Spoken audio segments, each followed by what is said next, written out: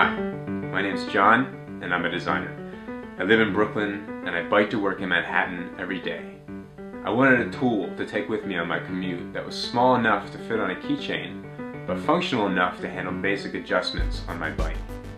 This did not exist, so I began to think of other small tools that fit on a keychain. I thought of a drum key. Could a bike tool work in a similar way? I needed to find out, so I made one, and it worked. Then I thought, could this get even better? Could this open bottles? I increased the diameter, and it could. Then I realized this was not only just a great tool for cyclists, but for artists, contractors, mechanics, just about anybody who likes to fix things. It's called Ring Tool, and it's the world's most useful and compact multi-tool. Be prepared for anything without being weighed down. Thank you so much for considering to support this 100% American manufactured and designed product. I hope you love it.